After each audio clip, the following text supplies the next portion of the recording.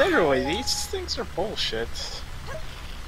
I like, I want to shoot them, but they're nowhere where I can reach them. And then so I start climbing the ledge, and then he's so fucking slow. They have plenty of time to travel like 20 feet to come over and hit me. It's the dumbest thing. Like they intentionally did that on purpose. They're assholes.